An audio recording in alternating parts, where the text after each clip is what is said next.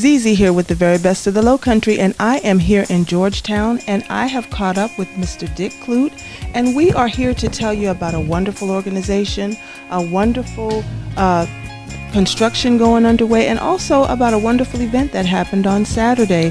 Taste of Georgetown, the first an- annual Taste of Georgetown happened on Saturday, and that was to benefit what? That was to ben- benefit the construction, the renovation process for the Family Justice Center, and that's where you are right now.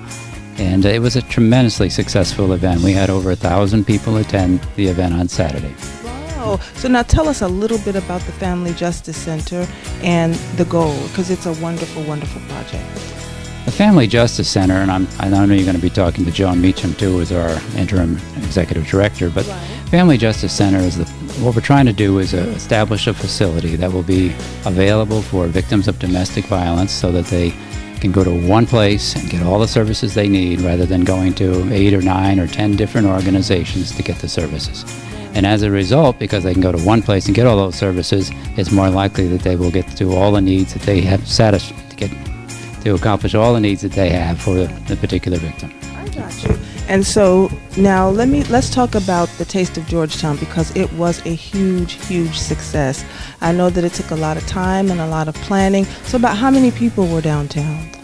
Uh, the Taste of Georgetown, we estimate there were over 1,000 people, uh, somewhere Wow. between 1,000 and about 1,500 people, and uh, there were about 16 different restaurants that were participating in the event, and we also had uh, oh, about 20 different retail shops that were offering uh, discounts on their products. Okay, so how it worked was that people actually came to the taste, they bought tickets, and they were able to sample all of the wonderful food from the restaurants downtown. That's correct. A lot of people would refer to this as a restaurant crawl, where they go from restaurant to restaurant to sample the different food items.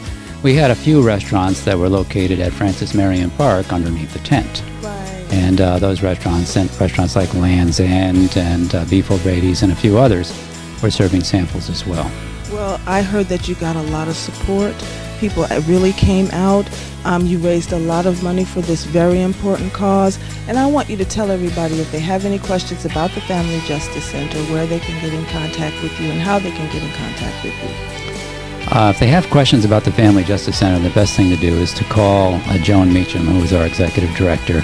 And uh, I don't have the number right on me right now, but in any event, um, that's the best thing to do. Um, there is a, um, a website too that John will tell you about in a few minutes. Okay. We will put that on the bottom of the screen, everybody.